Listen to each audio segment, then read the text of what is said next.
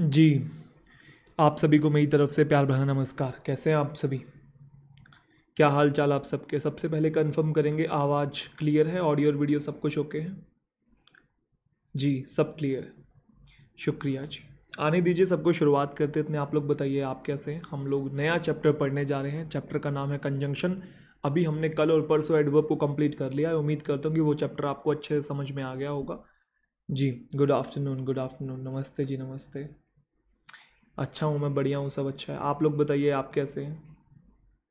सब बढ़िया है? प्रिपरेशन सही चल रही है? हेल्थ बढ़िया है? ऑल इज़ वेल है? चलिए, बहुत अच्छी बात है। खैर, शुरुआत करते हैं। हम लोग क्लास की नया चैप्टर पढ़ने वाले हैं। कंप्लीट चैप्टर पढ़ेंगे। इसके अंदर जितनी भी इंपॉर्टेंट चीज़ें हैं और जो एग्जामिनेशन ओरिएंटेड पॉइंट्स है, सारी चीज़ों को डिटेल में कवर करने की कोशिश करेंगे। है ना? चलो जी, शुरुआत करें जी। शुरुआत करें, बाकी बच्चे फिर आते रहेंगे। तो कॉन्सेप्ट जो हैं, अभी आप बस इनको समझेंगे।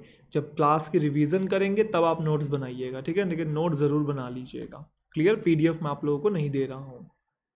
है ना? थोड़ी आप भी मेहनत मुशक्क़त कर लीजिए। हाँ वन वर्ड सब्सटीट्यूशन आते हैं। करवा देंगे, वो भी करवा देंगे। निश्चिंत रहिए, चलिए। तो शुरुआत करते कंजंक्शन चैप्टर की, बहुत आसान चैप्टर है। पहले एक बार छोटा सा बेसिक मैं आपको बता देता हूँ, जो बेसिक पॉइंट है, हालाँकि कई बार बता चुका हूँ, लेकिन चैप्टर शुरू कर रहे हैं तो हल्का सा बता देता हूँ, फिर पॉइंट्स शुरू करते हैं। कंजंक्शन बेसिकली दो वर्ड से मिलकर बना होता है। दो वर्ड कैसे? एक होता है कन सी ओ एन एक होता है जंक्शन ठीक है जी? तो जो कॉन वर्ड होता है सी ओ एन इसका मतलब होता है together T O G E H T H E R together T O G E T H E R together clear और आपका जो जंक्शन मतलब होता है, इसका मतलब होता है ज्वाइन तो ऐसा शब्द जो एक साथ दो शब्दों को जोड़े टुगेदर टू ज्वाइन जोड़े, उसे हम कहते हैं कंजंक्शन सभी जानते हैं ज्वाइनिंग वर्ड है बेसिक सा वर्ड है. जैसे कि एंड और बट बिकॉज़ सिंस ये सब के सब कंजंक्शन होते हैं, जैसे कि यहाँ पे रोहन और साहिल को एंड जोड़ रहा है. Work hard and you will be you will succeed in life ये दो क्लोज हैं, आप ये वाला क्लोज है, ये वाला क्लोज है, इसको एंड जोड़ रहा है। तो ऐसा वर्ड जो दो वर्ड्स को, दो सेंटेंसेस को, दो क्लोजेस को जोड़े बेसिकली इसको कहते हैं कंजंक्शन ये तो बहुत बेसिक पॉइंट है, आप जानते भी होंगे, है ना? यस और नो और अगर नहीं भी जानते तो कोई दिक्कत वाली बात नहीं। अब हम सीखेंगे इसके एग्जामिनेशन ओरिएंटेड पॉइंट सबसे आसान चैप्टर होता है कंजंक्शन नाउंस की तरह। इसमें ज़्यादा आपको डिटेल्ड कॉन्सेप्ट नहीं समझने होते, बस आपको ये जानना होता है कि कौन से वर्ड के साथ कौन सा कंजंक्शन आएगा। इतनी बातें आपको है तो आपका एग्जामिनेशन में जितने भी एलर्स हैं वो हो जाएँगे।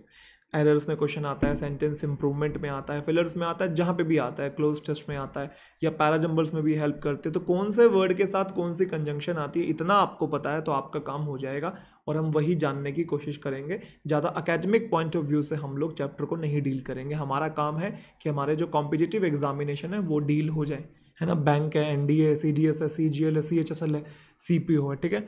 तो वन बाय वन मैं आपको बहुत सारे वर्ड्स दिखा रहा हूँ जिसके साथ जो जो कंजंक्शन आ सकती है उनको डिटेल में टैकल करते हैं ठीक है? सो so, सबसे पहला वर्ड है आपका ओल दो या फिर दो इनका मतलब होता है हालाँकि। हाँ ये आप कर सकते हैं। आप किसी भी क्लास में ये कर सकते हैं है ना? तो ऑल दो या दो इसका मतलब होता है हालाँकि और इसके साथ जो कंजंक्शन यूज़ करते हैं हम लोग येट यूज़ करते हैं बट यूज़ नहीं करते वो बट लिख के देता है बट सुनने में अच्छी लगती है। क्या कहा? ओल दो या दो के साथ येट कंजंक्शन का यूज़ करते हैं बट का नहीं करते येट का मतलब होता है ऐसा हो जाने पर भी। जैसे एग्ज़ाम्पल के तौर पर अगर मैं यहाँ बट लिख के दूँ आपको और सेंटेंस बोलूँ ओल दो या दो, या आप ये बोलो ये बोलो, एक ही बात है। ऑल दो बोलो दो बोलो, एक ही बात है। हालाँकि वो वेल ऑफ़ है। वेल ऑफ़ का मतलब अमीर होता है। हालाँकि वो वेल ऑफ़ है, लेकिन वो लालची है। सुनने में देखो, लेकिन के लिए बट हिंदी एकदम बिल्कुल बढ़िया लगती है। यस और नो लेकिन यहाँ पे बट नहीं आता येट आता है। ध्यान रखना ओल दो या दो के साथ हम येट कंजंक्शन का यूज़ करते हैं। ऑल दो या though he is well off yet he is greedy ठीक है? ऑल दो ही वर्क डार्ड हालाँकि उसने मेहनत करी, लेकिन वो कामयाब नहीं हुआ। हिंदी निकालोगे तो बट सुनने में बढ़िया लगेगा।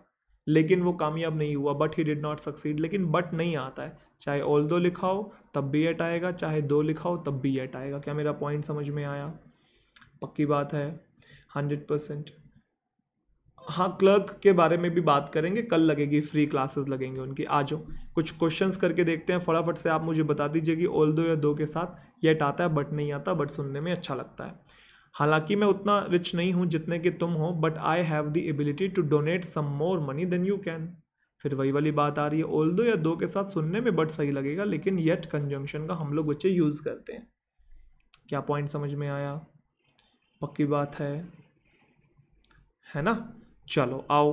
अगला क्वेश्चन आपके सामने। Although he has two big eyes हालाँकि उसकी दो बड़ी आँखें हैं, लेकिन वो नहीं देख सकता इन टाइप्स की मिस्टेक्स को बिगर थिंग्स को these types of bigger things even in the light of the day मतलब दिन में भी इन चीज़ों को नहीं देख सकता। है दिन की लाइट में भी इन बड़ी बड़ी चीज़ों को नहीं देख सकता, हालाँकि उसके पास दो बड़ी आँखें हैं।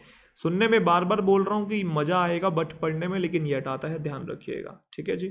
अब जैसे एक बार ये वाला क्वेश्चन देखिए इसमें छोटा सा आपको कन्फ्यूज़न हो सकता है तो इसमें पॉइंट को दूसरे तरीके से कन्वे करने की मैं कोशिश करूँगा, ठीक है? क्लियर हाँ। अभी करेंगे बात, आप पहले ही सस्पेंस क्यों खोल रहे हो? है ना? पहले बताने तो दीजिए, आप पहले ही सस्पेंस खोल देते हैं। सभी बच्चे उतने इंटेलिजेंट नहीं है ना, पढ़ने दीजिए, आ जाइए। Although she was responsible for the accident nobody blamed है अब बच्चे सोचते हैं कि सर ने कहा था ओल या दो के साथ येट आता है तो यहाँ पे वो क्या करते हैं? ए वाला ऑप्शन चूज़ कर लेते हैं कि येट नो बडी ब्लेमडर हालाँकि वो रिस्पॉन्सिबल है उस एक्सीडेंट के लिए, लेकिन कोई भी उसके ऊपर ब्लेम नहीं डाल रहा। येट आना चाहिए, लेकिन आपको मैं बता दूँ ओल दो या दो के साथ ओल दो लिखा हो, या फिर दो लिखा हो, इसके साथ हम लोग येट के अलावा कॉमा भी यूज़ कर सकते हैं, ठीक है? हम लोग कॉमा भी यूज़ कर सकते हैं, लेकिन या तो कॉमा यूज़ करेंगे या येट यूज़ करेंगे, दोनों एक साथ यूज़ नहीं कर सकते। तो क्या लिखी हुई स्टेटमेंट सही है? डेफिनेटली सही है ओल दो या दो के साथ कॉमा भी आता है, वही सेम मीनिंग दे रहा होता है। ऐसा हो जाने पर भी ऐसा हो गया। हालाँकि वो रिस्पॉन्सिबल है, फिर भी किसी ने ब्लेम नहीं किया उसको। तो कहने का मतलब जब लिखी हुई स्टेटमेंट सही है, भले ही आपको एक और सही स्टेटमेंट क्यों ना दी हो, आप इसको नो एरर ही लगाएँगे, क्योंकि वो गलत थोड़ी है। रिप्लेस तो तब करते हैं ना, जब गलत होता है। येस और नो है ना? चलिए, आ जाइए। नेक्स्ट टाइप की तरफ़ मूव ऑन करने की कोशिश करते हैं। बस यही जानना है कि इस वाले वर्ड के साथ ये वाली कंजंक्शन उसके साथ वो वाली कंजंक्शन जैसे कि दो वर्ड्स आपके सामने, एक वर्ड है सपोज़ और एक है इफ़ ध्यान रखिएगा, ये दोनों वर्ड साथ में नहीं आ सकते सेम सेम सेंस देते हैं। या तो बेटा आप सपोज़ सपोज़ यूज़ करेंगे या फिर आप इफ़ यूज़ करेंगे, दोनों साथ में यूज़ नहीं हो सकते, क्योंकि दोनों का मीनिंग सेम होता है। जैसे मैंने कहा supposing if supposing if a number of ghost meet us in the forest मान लो कि बहुत सारे भूत हमको फॉरेस्ट में मिलते हैं। तो क्या आप उनसे छुटकारा पालेंगे बिना किसी मैजिकल पॉइंट के मतलब बिना किसी जादू की छड़ी के? तो अगर यहाँ पे कंडीशन डिफाइन की जा रही है कि अगर आपको मिलते हैं घोस्ट बहुत सारे फॉरेस्ट के अंदर तो सपोजिंग भी अगर का सेंस देता इफ़ भी देता, दोनों सेम सेंस देते हैं, या तो ये हटा दो या ये हटा दो, कोई भी एक हटा दो। क्लियर सिंपल ऐसे अगला क्वेश्चन सपोजिंग या फिर if you become a bank PO in the next few months what will you do next अगर आप बन जाते हैं, अगर आप बन जाते हैं तो आप क्या करेंगे? अगर आप बन जाते हैं या आप इनकम टैक्स इंस्पेक्टर बन जाते हैं, या इंडिया में आपका सिलेक्शन हो जाता है एयरफोर्स में हो जाता है तो आप क्या करेंगे? वही वाली बात, या तो सपोज़ हटाओ या इफ़ हटाओ, आपकी मर्ज़ी है, दोनों में से कोई भी हटा सकते हैं। तो लो, मैं सपोज़ हटा देता हूँ। If you become a bank P in next a few months what will you do next समझ में आया? पक्की बात है? है ना? आसान चीज़ है। चले बेटा आगे, चलिए नेक्स्ट टाइप की तो मूव ऑन करते हैं। अगला जो पॉइंट है, उसमें मैं आपको ये कल समझा चुका हूँ डिटेल में पढ़ाया था, लेकिन दोबारा बता देता हूँ। जो लेस्ट होता है लेस्ट इसके साथ जो हम कंजंक्शन यूज़ करते हैं, वो शुड यूज़ करते हैं, ठीक है? ध्यान रखिएगा। और कल भी समझाया था कि लेस्ट के साथ जब शुड आता है तो उसकी नेगेटिव टोन होती है, इसका मतलब होता है ऐसा ना हो जाएगी, या फिर ताकि ना। लेस्ट के साथ कोई और कंजंक्शन नहीं आती है शुड आती है, ये नेगेटिव टोन देता है, कल समझाया था, इसका मतलब होता है ऐसा ना हो जाएगी, ऐसा ना हो जाएगी, या फिर ताकि ना। तो इसके साथ हम नोट का भी यूज़ नहीं करते, ध्यान रखिएगा। क्योंकि अपने आप में ये नेगेटिव होता है ना कंजंक्शन तो ये यूज़ कर रहे हैं नोट भी नहीं आता, क्योंकि डबल नेगेटिव हो जाएगा।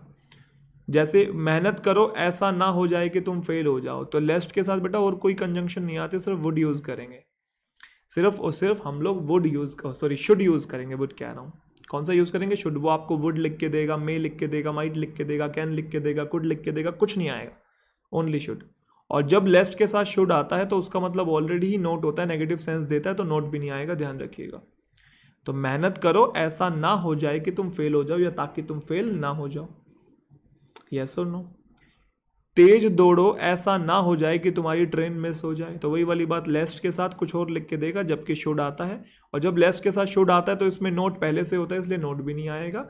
Run fast lest you should miss the train समझ में आया? बहुत आसान है। सभी स्टूडेंट्स को। जैसे एग्ज़ाम्पल के तौर पे आपके सामने एक सेंटेंस है, फटाफट से बताओ इसके अंदर क्या मिस्टेक है।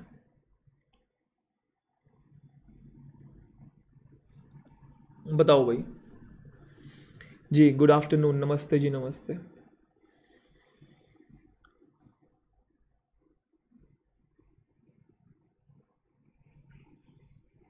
करेंगे, सब बात करेंगे, पहले इसे करो। A mother said to her children walk carefully ध्यानपूर्वक चलो ऐसा ना हो जाए कि तुम गिर जाओ और अपने आप को क्षति पहुँचा लो हर्ट कर लो। वही वाली बात लेस्ट के साथ क्या यूज़ करेंगे बेटा? शुड यूज़ करेंगे और नोट इसके अंदर। पहले से होता बात खत्म सिंपल सी चीज़ है। मेक हेस्ट हेस्ट का मतलब जल्दबाजी करना। थोड़ा जल्दी करो, ऐसा ना हो जाए कि तुम्हारी ट्रेन मिस हो जाए। अब लेस्ट के साथ शुड तो है, लेकिन नोट नहीं आएगा। ध्यान रखिएगा, क्योंकि ये अपने आप में ही नेगेटिव सेंस देता है। बहुत आसान सी चीज़ है। फटाफट से ये वाला क्वेश्चन उड़ाओ। फटाफट से सबके लिए, सारी चीज़ों के लिए यूज़फुल है। हाँ सेशन को लाइक कर दो फटाफट से पहले। You should not be so quick in giving advice आपको बिल्कुल भी जल्दबाजी नहीं करनी चाहिए एडवाइस देने के मामले में। ऐसा ना हो जाए कि आपको ऐसा समझ लिया जाए कि आप तो इंटरफेयर करते हो दूसरों के काम के अंदर। तो बताओ मुझे लेस्ट के साथ अभी हमने जाना क्या आना चाहिए? शुड आना चाहिए। सिंपल सी चीज़ है। You should not be so quick आपको जल्दबाजी नहीं करनी चाहिए एडवाइस देने के मामले में। ऐसा ना हो जाए कि आपको ऐसा मान लिया जाए कि आप तो इंटरफेयर करते हो दूसरों के काम के अंदर, दूसरों के काम में टांग अड़ाते हो lest you should be perceived आना चाहिए। ठीक है जी? चलिए जी नेक्स्ट टाइप की तरफ़ मूव ऑन करते हैं। जो नेक्स्ट टाइप है उसमें आपके सामने दो वर्ड्स आपको दिखाई दे रहे हैं। एक दिखाई दे रहा है डाउट और एक दिखाई दे रहा है डाउटफुल डाउट या डाउटफुल के साथ हम लोग कंजंक्शन यूज़ करते हैं इफ़ या वेदर और डाउट या डाउटफुल के साथ हम लोग यूज़ करते हैं दैट भी। लेकिन डाउट या डाउटफुल के साथ इफ़ या वेदर तभी यूज़ करते हैं जब सेंटेंस जो है वो अफर्मेटिव है। मतलब सकारात्मक सेंटेंस है। और जैसे ही सेंटेंस नेगेटिव हो जाता है नेगेटिव हो जाता है और इंटेरोगेटिव हो जाता है नेगेटिव हो जाए और इंटेरोगेटिव हो जाए, उस केस में डाउट या डाउटफुल के साथ हम लोग दैट का यूज़ करते हैं। क्योंकि ध्यान से समझिएगा इफ़ जो वेदर होती है इफ़ और जो वेदर होती है ना, ये हमारी डाउट वाली ही कंजंक्शन होती है डाउट को डिनोट ही करती है। और जो दैट होता है, ये रिज़ल्ट को डिनोट करता है।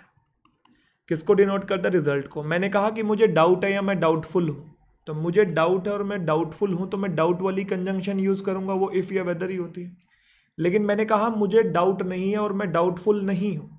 और अगर मैं डाउटफुल नहीं हूँ तो मैं श्योर हूँ। और अगर मैं श्योर हूँ तो मुझे रिज़ल्ट पता है। तो फिर रिज़ल्ट वाली कंजंक्शन यूज़ करेंगे दैट बेसिक सी चीज़ है।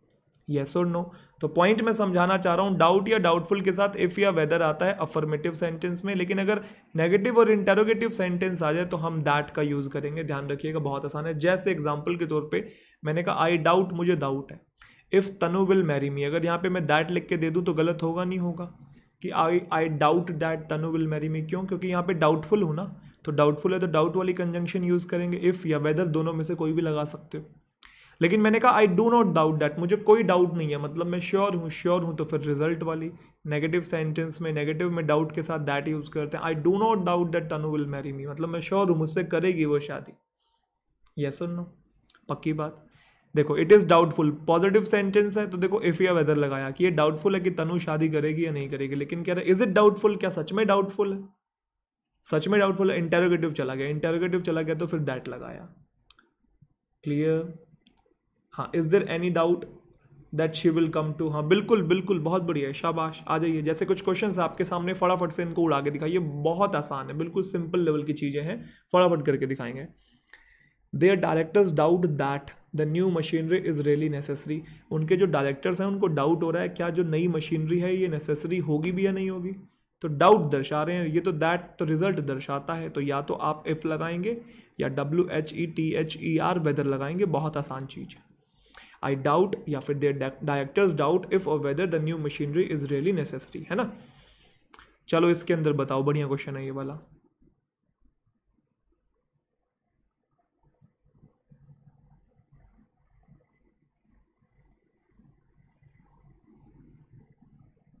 हाँ बहुत बढ़िया दिव्यांशु। चलो, अच्छी बात है। इसके अंदर बताएँगे हर फादर वॉज़ डाउटफुल उसके पिताजी डाउटफुल हैं तो पॉजिटिव सेंटेंस है, ना ही इंटेरोगेटिव है, ना ही नेगेटिव है। तो फिर यहाँ पे दैट नहीं आएगा इफ़ आएगा। If one of his colleagues was involve in this shameful embezzlement embezzlement को हम लोग धोखाधड़ी बोलते हैं। तो उसके पिताजी को डाउट है कि बहुत सारे कलीग्स में से जो एक कलीग हैं, क्या वो इन्वॉल्व है भी या इस धोखाधड़ी में या नहीं? इस चीज़ को लेकर डाउट है है ना? डाउटफुल है वो। चलो इसमें बताओ, एक बहुत बढ़िया चीज़ बताने जा रहा हूँ मैं आपको। बहुत मज़ेदार क्वेश्चन है ये। अगर इसके अंदर आपने बताया आंसर तो मैं समझूँगा आपको आ गया। ये बहुत बढ़िया क्वेश्चन है। बिल्कुल ध्यान से देखो इस क्वेश्चन को। अगर आपने इसके अंदर बता दिया तो मैं समझूँगा कि हाँ आपको समझ में आ गया। Economist doubt if interest rates will fall in the near future और नो मतलब इकोनॉमिस्ट को डाउट्स है डाउट है कि इंटरेस्ट जो रेट है वो गिरेंगे या नहीं गिरेंगे नियर फ्यूचर के अंदर। वो श्योर नहीं है। अब देखो मेरी बात समझना। आपने देखा डाउट या डाउटफुल आया हुआ है? और आपने देखा कि पॉजिटिव सेंटेंस है तो इफ़ या वेदर आना चाहिए इफ़ या वेदर आया हुआ हमको लगेगा सेंटेंस सही है। लेकिन मैं यहाँ पे बता दूँ, यहाँ सिर्फ़ और सिर्फ़ वेदर आएगा W H E T H E R whether only whether यहाँ पे इफ़ भी नहीं आएगा, पूछो क्यों नहीं आएगा, समझेंगे मेरी बात, ध्यान से समझेंगे, ध्यान से। मैंने आपको कहा था कि डाउट लिखा हो, या फिर डाउटफुल लिखा हो, है ना? इसके साथ अफर्मेटिव सेंटेंस में इफ़ या वेदर कंजंक्शन आती अभी बताया था, आपने कहा, जी सर, आती है। ठीक है? समझना इस चीज़ को। जैसे मैंने आपको एक सेंटेंस लिख के दिया मैंने कहा कि I doubt I doubt I doubt उसके आगे बो, बोला मैंने इफ़ या फिर वेदर आई डाउट इफ़ या वेदर इस आई को छोटा कर लेंगे ठीक है? आई डाउट इफ़ या वेदर इंडिया ठीक है? Will win the match or not चलो इतना लिखते हैं मान लो चलो इतना फुल स्टॉप लगा के इतना लिखा। आई डाउट इफ़ या whether India will win the match तो आपको पता है डाउट या डाउटफुल के साथ पॉजिटिव सेंटेंस में इफ़ या वेदर यूज़ करते हैं तो अभी तो दोनों आ सकते हैं।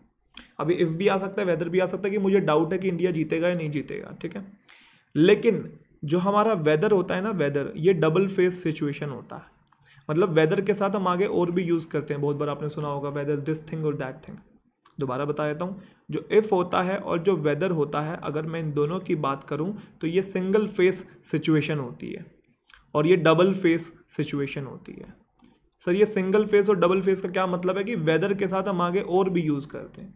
अगर सेंटेंस सिर्फ़ मैच तक लिखा हुआ है तो इफ़ भी सही है वेदर भी सही है, लेकिन अगर आगे लिख दूँ और नोट क्या लिख दूँ? आगे और नोट मीनिंग नहीं बदलेगा मीनिंग वही रहेगा, लेकिन अब यहाँ पे बस और बस वेदर का यूज़ होगा, क्योंकि आगे और भी आ गया, क्योंकि वेदर के साथ आगे और भी आता है। यस और no I doubt whether India will win the match or not और अगर और नोट नहीं लिखा हुआ है, ये टर्म नहीं है तो फिर इफ़ और वेदर दोनों सही है। समझ में आया? पक्की बात है हंड्रेड परसेंट है ना? तो यहाँ पे क्या आना चाहिए था? इकोनॉमिस्ट डाउट यहाँ पे इफ़ आएगा, नहीं आएगा, क्यों? क्यों? वैसे इफ़ वेदर दोनों आ सकता था, अगर इतना लिखा होता तो। अगर इतना लिखा होता कि इकोनॉमिस्ट को डाउट है कि इंटरेस्ट रेट बढ़ेंगे या सॉरी गिरेंगे या नहीं गिरेंगे तो इफ़ वेदर दोनों आ सकता है लेकिन आगे देखो, और नोट भी लिखा हुआ तो अब बस और बस वेदर का यूज़ करेंगे इफ़ का नहीं करेंगे, बहुत आसान चीज़ है। सिंपल चलें, बड़े प्यारे बच्चे हैं। इसमें देखेंगे एक बार बताना क्या मिस्टेक है। फटाफट से बता दो। बताओ बताओ, चलो। बहुत आसान चीज़ें हैं। कुछ मुश्किल चीज़ें कंजंक्शन सबसे आसान चैप्टर है।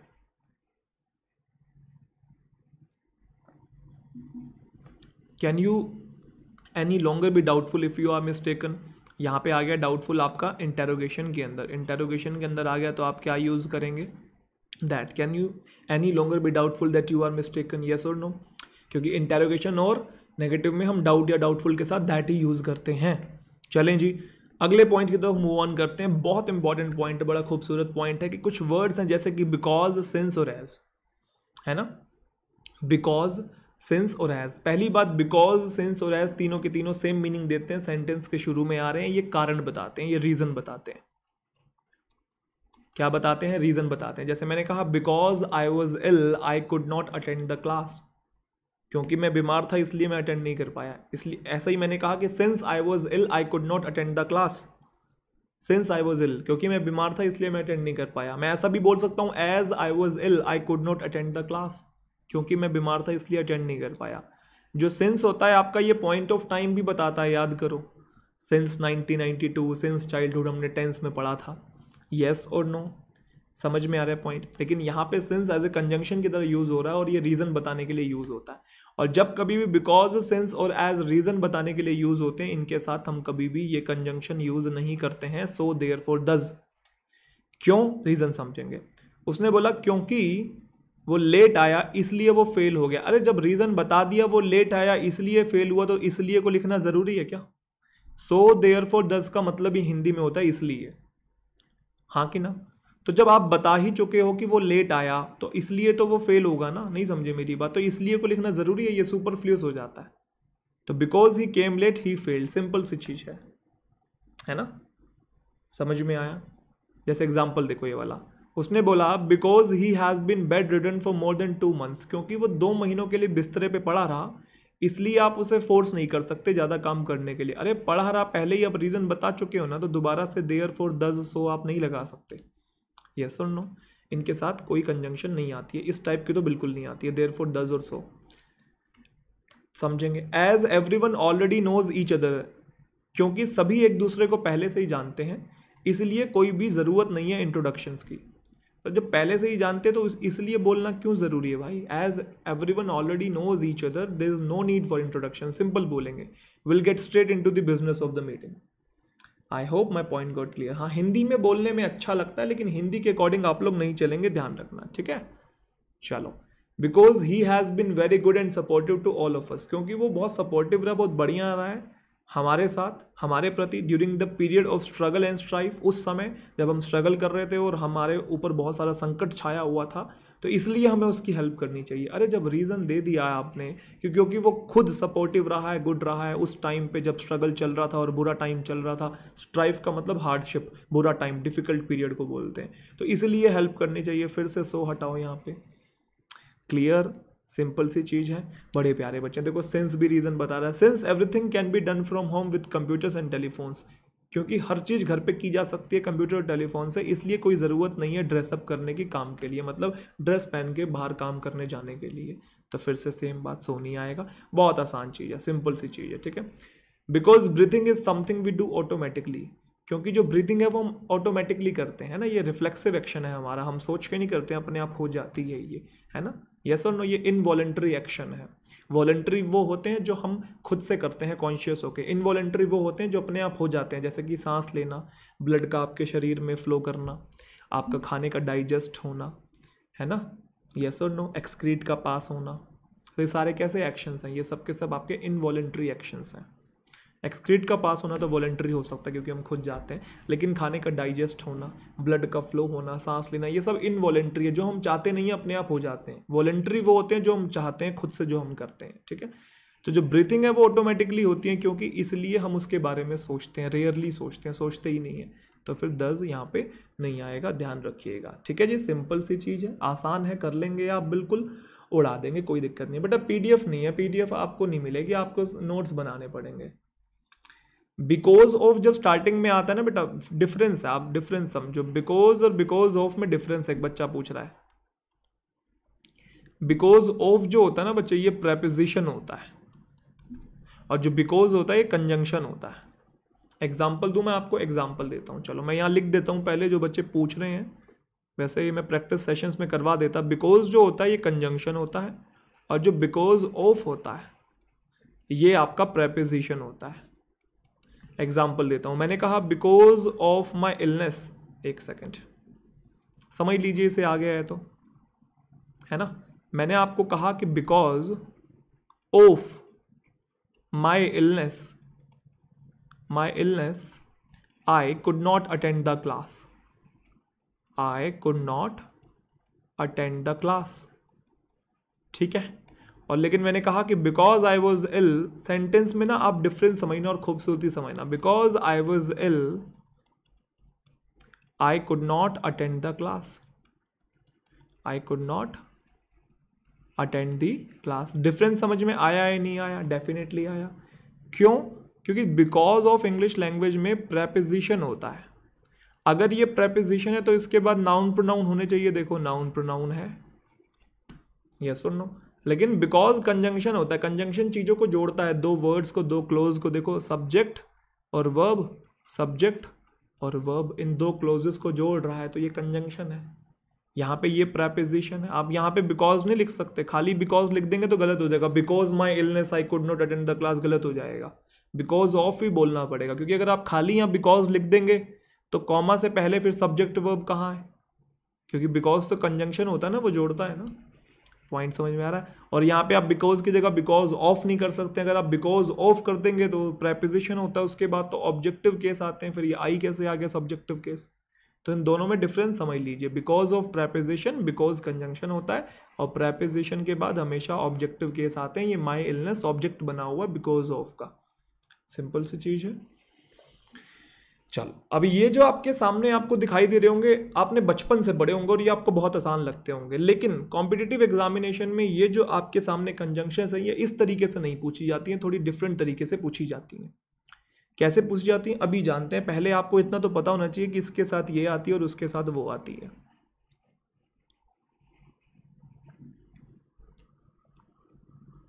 वर्दी ऑफ़ होता है बेटा। हाँ ये ड्यू टू ओइंग टू ये भी सबके सब आपके प्रेपोजिशन होते हैं। चलो यहाँ देखो सामने। हमें इतना पता है कि आइदर के साथ और आता है। आपको लगता है इतना आसान क्वेश्चन पूछेगा वो? नाइदर के साथ नोर आता है सॉरी और लिखा हुआ है। आपको लग रहा है इतना आसान पूछेगा? नोट ओनली के साथ बट ऑल्सो आता है बोथ के साथ एंड आता है। ये कंजंक्शन होते हैं फिक्स्ड है। लेकिन इतनी आसान चीज़ें देता नहीं है वो। कि आपको आइदर के साथ नोर लिख के दे रहा है आइदर के साथ आइदर के साथ नोर लिख के दे रहा है, ना इधर के साथ और लिख के दे रहा है, ऐसा करके नहीं देगा। तो फिर कैसी एरर आती है, मैं समझाने की कोशिश करता हूँ, पहले इसे नोर कर लो, ये गलती से लिखा हुआ है। कैसी एरर आती है, बिल्कुल प्यार से समझेंगे। देखो, आइदर के साथ और तो आता है, ना इधर के साथ नोर तो आता है नोट ओनली के साथ बट ऑल्सो आता है बोथ के साथ एंड आता है, वो ठीक है, लेकिन ये सब के सबको रिलेटिव कंजंक्शन है। सर को रिलेटिव का क्या मतलब होता है, ये सेम टाइप के शब्दों को रिलेट करती हैं। सर सेम टाइप के शब्दों को रिलेट करने का क्या मतलब है बहुत आसान चीज़ है अगर आइदर के बाद एक नाउन होगा तो और के बाद भी क्या होगा नाउन अगर आइदर के बाद एक वर्ब होगी तो और के बाद भी क्या होगी वर्ब अगर आइदर के बाद एडजेक्टिव है तो और के बाद भी क्या होगा एडजेक्टिव मतलब सेम टाइप ऑफ़ वर्ड्स को कनेक्ट करता है नाइदर के बाद नाउन तो नोर के बाद भी नाउन नाइदर के बाद वर्ब तो नोर के बाद भी वर्ब सेम सेम शब्दों को रिलेट करना ज़रूरी है इसलिए इनको कहते हैं ये को रिलेटिव कंजंक्शन है क्या पॉइंट समझ में आया चलो एक काम करते हैं, पहले इजी सेंटेंस में देखते हैं, फिर धीरे धीरे करके सेंटेंस की लेंथ बढ़ाएँगे। पहले आराम आराम से एक एक वर्ड को जाँच के, उसका पोस्टमार्टम करके समझते हैं कॉन्सेप्ट को। उसके बाद फिर डिटेल में जब लेंथी सेंटेंस आएँगे, आप देखेंगे यूँ हो जाएँगे आपसे, एकदम से हो जाएँगे। पहले लेकिन आराम से समझो। मैंने कहा either the action was right or wrong सबसे पहले आप मुझे ये बताएँगे एक्शन का पार्ट्स ऑफ़ स्पीच क्या है? नाउन है, ठीक है? ये राइट किसको कहा जा रहा है? आपने कहा सर एक्शन को कहा जा रहा है। तो नाउन के बारे में जो बताए, उसे हम क्या कहते हैं? एडजेक्टिव कहते हैं। ये रॉन्ग भी किसको कहा जा रहा है? एक्शन को कहा जा रहा है। तो नाउन के बारे में सेम वही सिमिलरली क्या होता है? एडजेक्टिव अब आप ध्यान से देखो कि आइदर के बाद एक नाउन है तो और के बाद भी एक नाउन होना चाहिए। आइदर के साथ और तो आया हुआ है, वो तो सही है, लेकिन आइदर के बाद अगर एक नाउन है तो और के बाद भी होना चाहिए। क्या और के बाद एक नाउन है? नहीं है। क्या सेंटेंस में और कोई नाउन दिखाई दे रहा है? नहीं दिखाई दे रहा तो क्या करें? अब आप देखो फिर और के बाद क्या है। और के बाद एक एडजेक्टिव है तो मतलब आइदर के बाद भी एडजेक्टिव होना चाहिए। तो क्या सेंटेंस में और कोई एडजेक्टिव है? हाँ जी सर, ये रहा। तो मतलब आइदर को यहाँ से उठाओ और यहाँ लेके आओ। अब देखो, अब ये बना कोरेलेटिव कंजंक्शन इसके साथ ये तो आता है, लेकिन को कोरेलेटिव अब ये बना। The action was either right or wrong समझ में आ रहा है पॉइंट में क्या बोलने की कोशिश कर रहा हूँ। पहले सिंपल सेंटेंस देखते हैं। ही आपका प्रोनाउन है, सभी जानते हैं सब्जेक्ट की तरह फ़ंक्शन कर रहा है यहाँ पे। विजिटेड उसकी वर्ब है। जयपुर किसी जगह का नाम है तो नाउन है, उदयपुर भी जगह का नाम है तो नाउन है। नाइदर के बाद एक वर्ब है, नाइदर के साथ नोर आता है, वो बात तो ठीक थी। तो फिर नोर के बाद भी वर्ब आना चाहिए था, अगर नाइदर के बाद वर्ब है तो तो वर्ब तो और कहीं है नहीं। तो अब क्या करें नोर के बाद चेक करो, क्या है नाउन तो नाइदर के बाद भी नाउन होना चाहिए। सेंटेंस में नाउन है और ये रहा तो मतलब नाइदर को यहाँ से उठा के यहाँ लेके आओ। अभी आसान है सेंटेंस अभी लेंदी भी देखेंगे, ठीक है? He visited neither Jaipur nor Udaipur बहुत बेसिक सी चीज़ होगी। जैसे he is not only famous in India but also in abroad बहुत आसान चीज़ है। ही आपका प्रोनाउन है सब्जेक्ट की तरीके से काम कर रहा है। इज़ आपकी मेन वर्ब है यहाँ पे। ये फ़ेमस किसको कहा जा रहा है? फ़ेमस ही कोई तो कहा जा रहा है। तो प्रोनाउन के बारे में जो बताए, उसे क्या कहते हैं? एडजेक्टिव कहते हैं। अब आपको पता है इन प्रेपिजिशन है और प्रेपिजिशन के बाद प्रेपिजिशन के ऑब्जेक्ट आते हैं और वो हमेशा नाउन होते हैं। ऐसे इन प्रेपिजिशन है प्रेपिजिशन के बाद प्रेपिजिशन के ऑब्जेक्ट आते हैं, वो हमेशा नाउन होते हैं। अब आप देखो कि नोट ओनली के साथ बट ऑल्सो आता है, वो बात ठीक थी, लेकिन नोट ओनली के आगे फ़ेमस लिखा हुआ है। तो फिर बट ऑल्सो के आगे भी कुछ ऐसा एडजेक्टिव होना चाहिए नोट ओनली के आगे एडजेक्टिव है तो बट ऑल्सो के आगे भी होना चाहिए, वो तो है नहीं।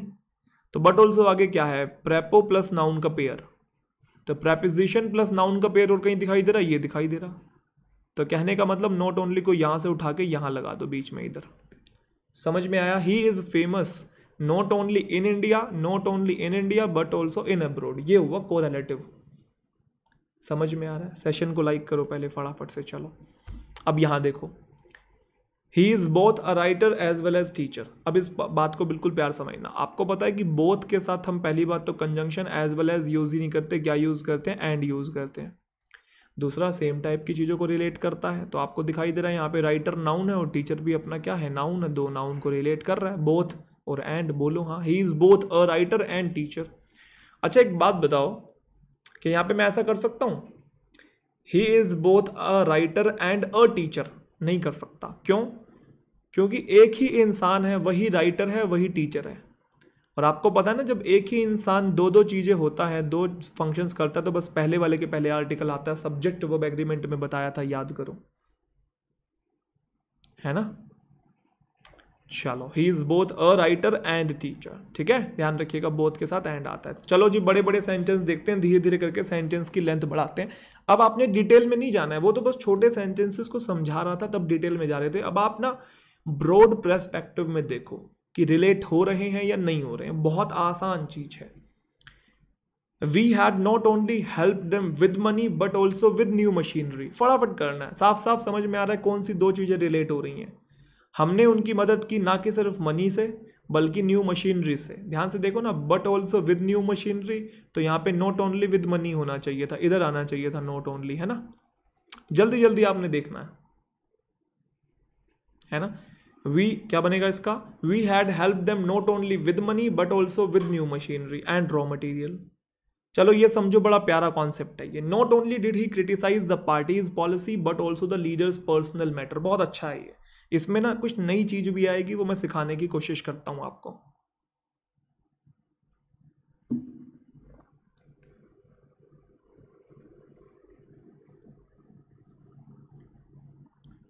समझ में आ रही है ना चीज़ें? देखो, समझ में आना बहुत ज़रूरी है। लेकिन ये कॉन्सेप्ट बहुत तगड़ा आपके सामने, जो आपकी स्क्रीन के ऊपर है। गलत बता रहे हो, नहीं। गलत।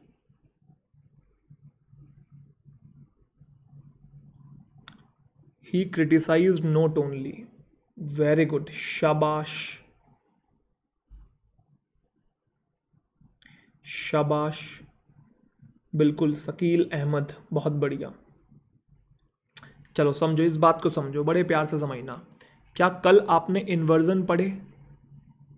क्या कल आपने इन्वर्जन पढ़ा? किस किस से इन्वर्जन बन सकता था? याद है? Hardly rarely scarcely seldom never याद है? और एक और टर्म बताया था नो सूनर याद है? Hardly rarely scarcely seldom never no sooner इन सब के साथ इन्वर्जन बन सकता था?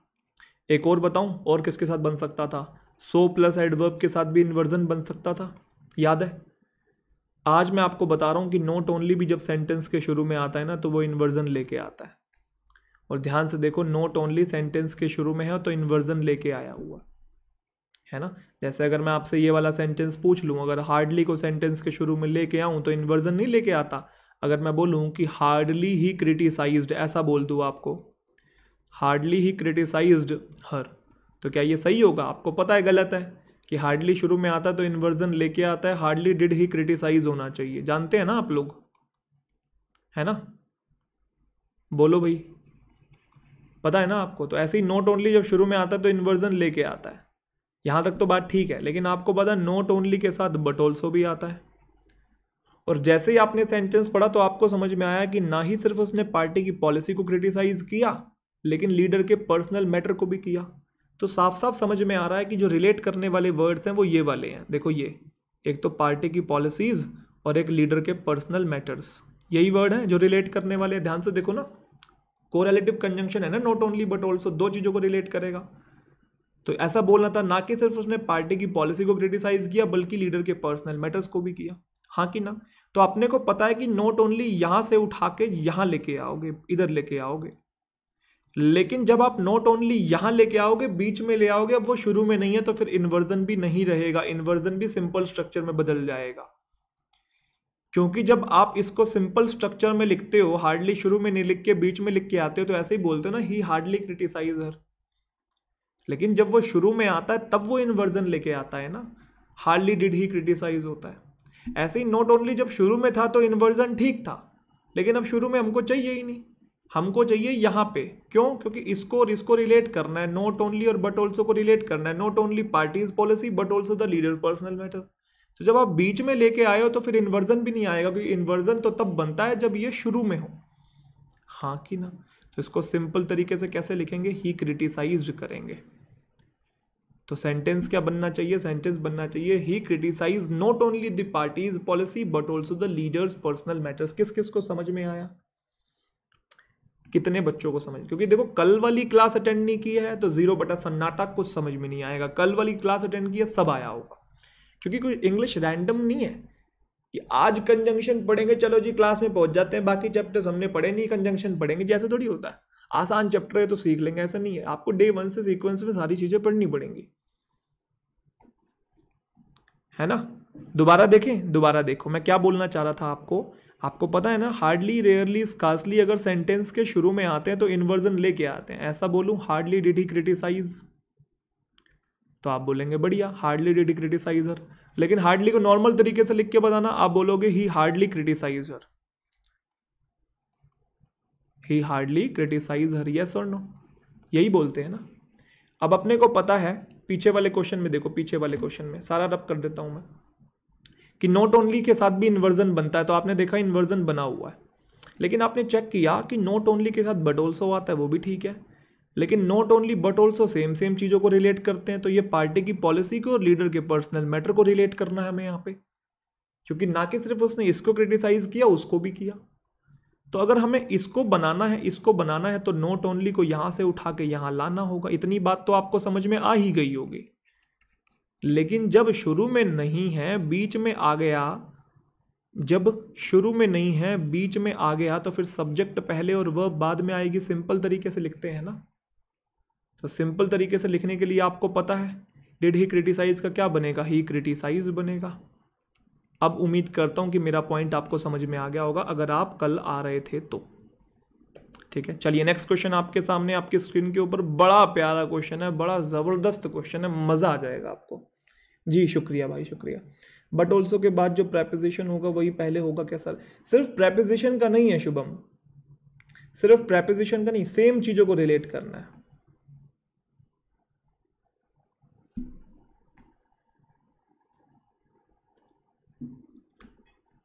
ज़रूरी नहीं है कि उज्जवल बट ऑल्सो के हिसाब से लेंगे। सेम चीज़ों को देखना है। जहाँ सेम चीज़ें आएँगी, उनको रिलेट करवाना है।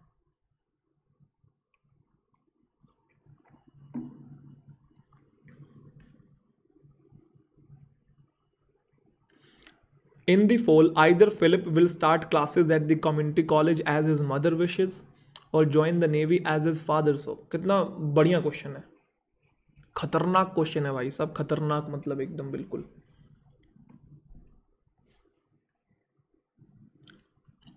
बेटा, नए क्वेश्चन है ये सारे के सारे।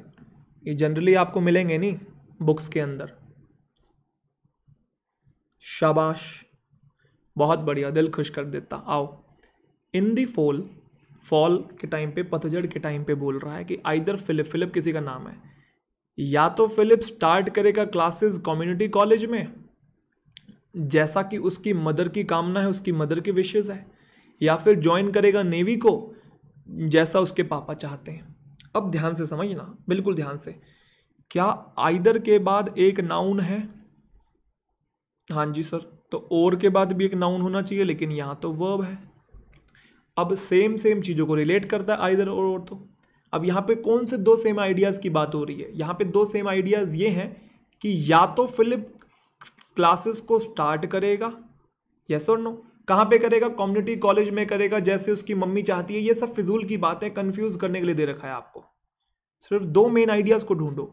या तो फिलिप स्टार्ट करेगा क्लासेस या ज्वाइन करेगा नेवी समझे मेरी बात? या क्लास को स्टार्ट करेगा कम्युनिटी कॉलेज में जैसे मम्मी चाहती है, या ज्वाइन करेगा नेवी जैसे पापा चाहते हैं? तो ये पापा चाहते हैं, ये मम्मी चाहती हैं, ये तो पता नहीं क्या क्या चाहते हैं। आप फिलिप की बात समझो, या तो वो ये क्लास स्टार्ट करेगा, या तो ज्वाइन करेगा। कहने का मतलब कहने का मतलब अगर और के बाद ज्वाइन है तो यहाँ आइदर भी आपका इधर आना चाहिए था। स्टार्ट से पहले वर्ब से पहले आना चाहिए था।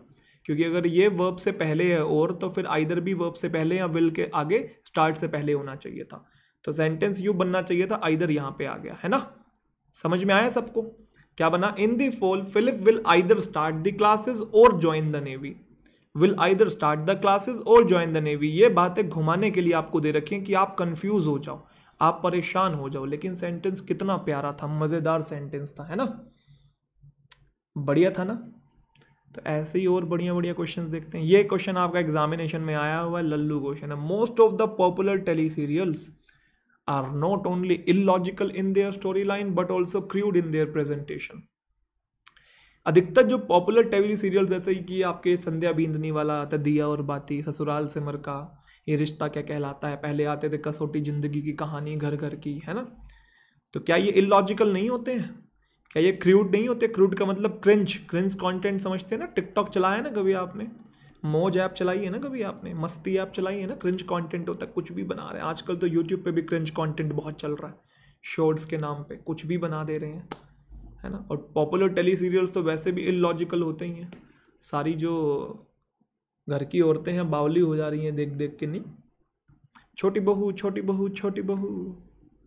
पूजा की थाली ऐसे वो कर, ऐसे कर रही हैं, वो हाथ से छूट गई, ये क्या किया, ये क्या किया, ये क्या किया? है ना? तीन बार ये क्या किया, ये क्या क्या, करने की क्या ज़रूरत है? एक ही बार कर दो ना। वैसे उसका फेस बड़ा बड़ा हो के दिखाएँगे, छोटी बहू छोटी बहू छोटी बहू। बेरानी के कर दिया हो भाई? नहीं। खैर, क्या बोल सकते हैं? अलग ही चल रहा है भाई, टीवी सीरियल्स में तो अलग ही लॉजिक्स चल रहे हैं। उनको पता है ना, घर में यही चीज़ें पसंद होती हैं।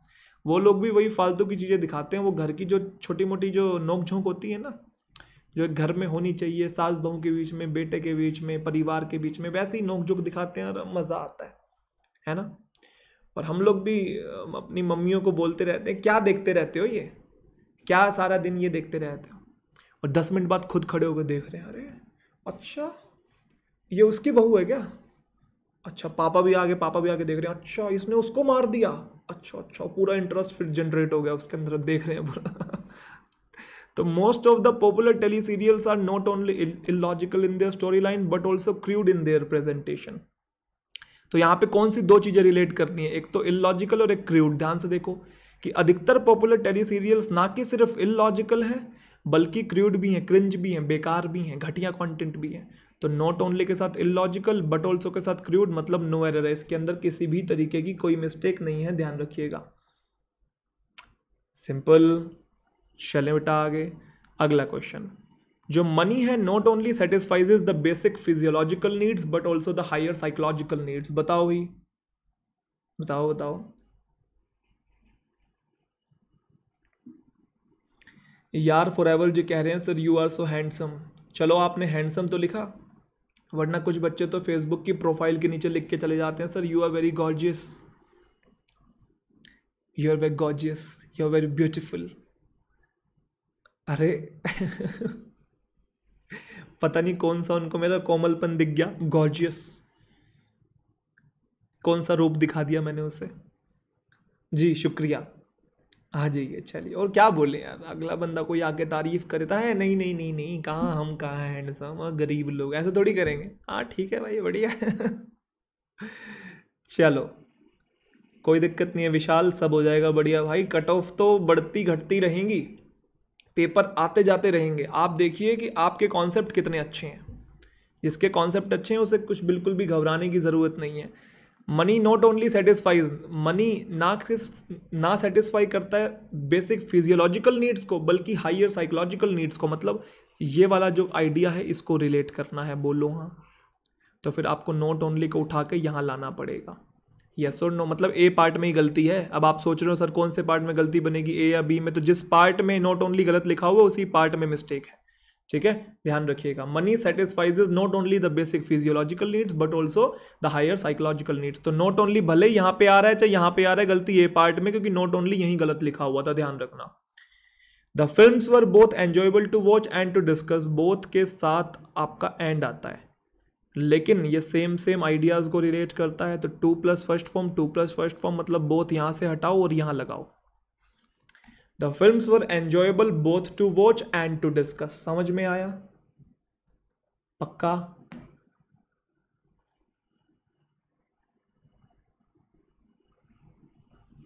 चलें जी, चलिए जी, बहुत ही बढ़िया। शाबाश। नेक्स्ट टाइप की तरफ़ मूव ऑन करें। चलिए नेक्स्ट टाइप की तरफ़ मूव ऑन करते हैं। कल हमने सीखा था सेल्डम के बारे में। आपको याद है? पहले भी हमने बात की है। Never hardly rarely scarcely seldom पढ़े हैं ना ये वाले वर्ड्स तो एक्चुअल में सेल्डम और never almost same same meaning convey करते हैं। सेल्डम और never almost same same meaning convey करते हैं। सेल्डम बोलो नेवर बोलो, एक ही बात है। ना के बराबर होता है या कभी नहीं होता है, इनका मतलब। दोनों सेम मीनिंग देते हैं। तो आप इन दोनों को ऐसे साथ में भी यूज़ कर सकते हैं। सेल्डम और नेवर टर्म भी एक होती है। और एक टर्म होती है सेल्डम इफ़ एवर लेकिन आपको एग्जामिनेशन में लिखी मिलेगी सेल्डम इफ़ नेवर जो कि गलत होती है। क्योंकि सेल्डम इफ़ नेवर नहीं होता सेल्डम और नेवर होता या तो सेल्डम या नेवर समझ में आया? या फिर अगर एवर बोलना तो बीच में इफ़ करेंगे। अगर आप सेल्डम और एवर कर देंगे तो गलत हो जाएगा, क्योंकि सेल्डम और नेवर का मीनिंग सेम होता है, ना कि एवर का। तो आपने ये कॉन्सेप्ट ध्यान रखना है। सेल्डम और नेवर बोलो या सेल्डम इफ़ एवर बोलो, एक ही बात है। अगर सेल्डम इफ़ नेवर कर दिया तो गलत, अगर सेल्डम और एवर कर दिया तो गलत। Clear hundred percent quit verb है एंड क्विट्स एडजेक्टिव ये कैसे पॉसिबल है? कहाँ क्विट्स एडजेक्टिव वो डिपेंड करता है कि सेंटेंस कैसा वैसे तो क्विट एडवर्ब है, ध्यान रखिएगा। विक्रांत, वो डिपेंड करता है कि सेंटेंस कौन सा आप सेंटेंस दिखाइए, तभी पता लगेगा भाई। हाँ सेल्डम इन्वर्जन लेता है, बहुत बढ़िया, शाबाश। क्लियर चलो आओ। आ जाओ, और देखते हैं क्वेश्चन देखते हैं इसके अंदर क्या मिस्टेक हो सकती है। लैंग्वेज पॉलिसीज़ जो हैं एजुकेशन के लिए हाईली चार्ज पॉलिटिकल इश्यूज़ है। मतलब इनके अंदर जो राजनीति होती है, बहुत ज़्यादा इन्वॉल्व रहती है। यस और no seldom or ever decided on educational grounds alone ये सिर्फ़ और सिर्फ़ कभी भी एजुकेशनल ग्राउंड्स के बेसिस पे डिसाइड नहीं होती हैं, क्योंकि इनके अंदर पॉलिटिकल इश्यूज़ भी होते हैं। पॉलिटिकल राजनीति भी बहुत ज़्यादा होती है इन पॉलिसीज़ के अंदर। है, होता है ना ऐसा? कि सिर्फ़ एजुकेशन को देख के अगर पॉलिसीज़ बनने लगी तो बहुत बढ़िया हो गया। राजनेताओं की भी अपनी कुछ इसके अंदर इन्वॉल्वमेंट रहती है, लेकिन सेल्डम और एवर क्या है तो इसे या तो सेल्डम इफ़ एवर करो या सेल्डम और नेवर करो, एक ही बात है। क्लियर पक्का? करेंगे करेंगे भाई। एस बी आई क्लर्क की भी बात करेंगे। आ जाओ, यहाँ देखेंगे। Seldom if never there was any training or instructions बड़ा प्यारा सा सेंटेंस है। अगर आपने इसके अंदर मिस्टेक बताई ना तो मैं समझूँगा कि आपको कॉन्सेप्ट बहुत अच्छे से आ रहे हैं। इतना ज़बरदस्त सेंटेंस है, इसमें ज़बरदस्त कॉन्सेप्ट लगने वाला है। ज़रा एक बार देख के बताओ क्या मिस्टेक हो सकती है। लगेगा सिंपल दिखता सिंपल है नहीं, लेकिन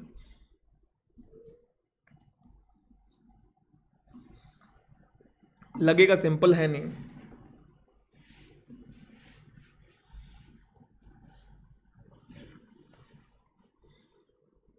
हाँ ओके। ना ना ना ना ना। हाँ बिल्कुल बिल्कुल बिल्कुल। बहुत बढ़िया। शाबाश। शाबाश। बहुत अच्छे। एक बात बताना। मैंने कहा he has seldom eaten chicken क्या ये सेंटेंस सही है? He has seldom eaten chicken सही है। सौ प्रतिशत सही है। क्योंकि has helping verb eaten main verb इसके बीच में आता है सेल्डम सेल्डम ईटन चिकन लेकिन आपको पता है सेल्डम से इन्वर्जन भी बनता है। अगर सेल्डम मैं सेंटेंस के शुरू में ले आऊँ तो ऐसे नहीं हो जाएगा seldom has he eaten chicken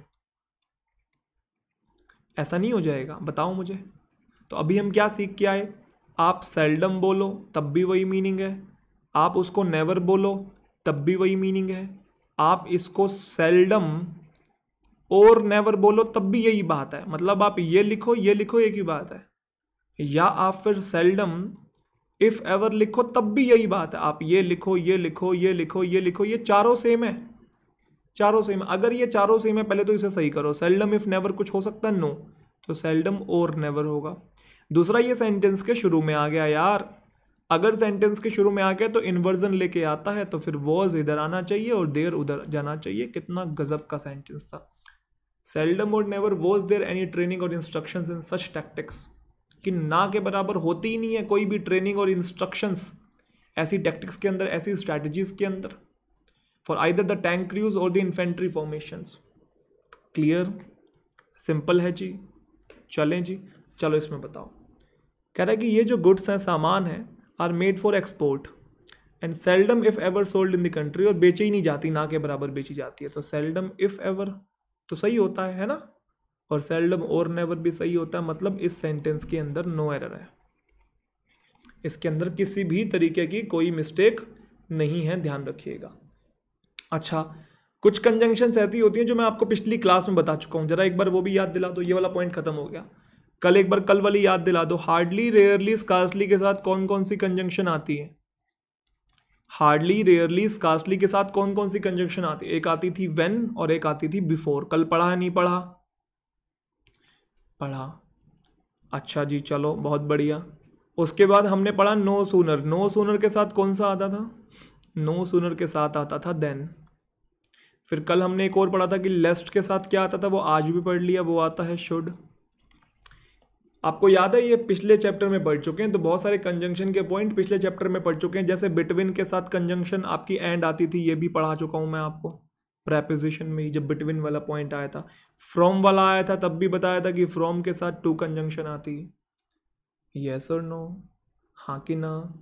है ना? तो पुराने चैप्टर्स के अंदर भी मतलब जो पहले पढ़ा दिए मैंने, उनमें भी बहुत सारी कंजंक्शन आई है, जो इंपॉर्टेंट थी, मैंने बता दी थी। तो आपको इतनी ही कंजंक्शन पढ़नी है, इससे ज़्यादा नहीं पढ़नी। इक्का दुक्की और एक्स्ट्रा है। दो चार और हैं, वो हम प्रैक्टिस क्लास के अंदर करेंगे। जैसा कि हर चैप्टर में मैं कहता आया हूँ कि 80 परसेंट चीज़ें हम लोग कॉन्सेप्ट में कवर करते हैं। 20 परसेंट जो बहुत इंपॉर्टेंट नहीं है, जो कुछ कुछ उनकी है वर्थ उनको हम प्रैक्टिस क्वेश्चंस में करेंगे। करेंगे उनको भी, छोड़ेंगे नहीं, उनको प्रैक्टिस क्वेश्चंस में निपटाएँगे। कॉन्सेप्ट में आपने इतना ही जानना था। तो उम्मीद करता हूँ कि सेशन आपको अच्छा लगा होगा। लगभग मैंने सारे चैप्टर्स पढ़ा दिए हैं आपको। तो अभी SBI क्लर्क आया हुआ है। एडमिट कार्ड आउट हो गए हैं तो हो सकता है कुछ दिन मैं एस बी क्लर्क की क्लासेस लूँ अभी फ़िलहाल। ऐसा पॉसिबल हो सकता है क्योंकि एग्जामिनेशन बच्चों का नियर है, दस दिन बचे हैं अभी एग्जामिनेशन में तो हो सकता है कि मैं उनकी क्लासेस लूँ। और अगर उनकी क्लासेस नहीं होगी तो कुछ और टॉपिक्स इससे रिलेटेड मैं आपको पढ़ाने की कोशिश करूँगा। और आप लोग टेलीग्राम चैनल पे ज्वाइन रहिए। तरुण ग्रोवर इंग्लिश बहुत इंपॉर्टेंट है, वहाँ पे ज्वाइन रहना ताकि आपको क्लासेस का शेड्यूल पता लग जाए, कब कब किस किस टाइम पे हो रही है। वैसे कल और परसों यूट्यूब पे क्लास नहीं होती, अभी नहीं है। अभी तीन दिन ही होती है यूट्यूब पे मंडे ट्यूजडे और वेंसडे अभी जो क्लास है वो अन प्लस के ऊपर होगी, कल जो क्लास होगी। कल भी अन प्लस पे है, परसों भी अन प्लस पे। वो भी फ्री क्लासेज आप देखना चाहें उनको भी देख सकते हैं। अन की लर्निंग एप्लीकेशन आप डाउनलोड कर लो, वो आपसे अनलॉक कोड पूछेगा। तो टी ट्रिपल फाइव वहाँ पर अनलॉक कोड डाल देना। वहाँ पे मेरी सारी फ्री क्लासेस अनलॉक हो जाएँगी। जितनी भी फ्री क्लासेस आप सारी क्लासेस वहाँ पे भी देख सकते हैं। वहाँ मैं बैंक एग्जामिनेशन के लिए टीच करता हूँ। यूट्यूब पे अभी मैं जनरल कंटेंट पढ़ा रहा हूँ, जो कि सारे एग्जामिनेशन के लिए यूज़फुल है। लेकिन जहाँ पेड कोर्सेज है, मेरे वहाँ सिर्फ़ और सिर्फ़ बैंक एग्जामिनेशन का मैं टीच करता हूँ। ठीक है जी? तो कल और परसों वहाँ क्लास होगी फ्री क्लास है टी ट्रिपल फाइव आपका अनलॉक कोड है। तो मुलाकात करेंगे हम कल के सेशन के अंदर। है ना? तो यूट्यूब पे अब जो क्लास लगेगी वो मंडे को लगेगी। मंडे ट्यूसडे और वेंसडे ध्यान रखिएगा। तो उम्मीद करता हूँ कि सेशंस आपको बेनिफिशियल लग रहे होंगे, आप इनका फ़ायदा उठा रहे होंगे। वोकेबलरी का भी एक कोर्स शुरू करने की सोच रहे हैं वन वर्ड सब्सटिट्यूशन का भी सोच रहे हैं। तो बहुत सारी चीज़ें लाइंड अप है प्लानिंग में भी हैं, चल रही हैं। तो आपको टेलीग्राम चैनल पे इन्फॉर्म कर दिया जाएगा। Tarun Grover English Telegram channel है। कौन सा? तरुण ग्रोवर इंग्लिश। आप ज्वाइंट रहिए वहाँ पे, आपको अपने आप सारी अपडेट मिल जाएगी, ठीक है? चलिए तो फिर ध्यान रखिएगा अपना, तब तक के लिए बहुत बहुत शुक्रिया बहुत बहुत प्यार, धन्यवाद।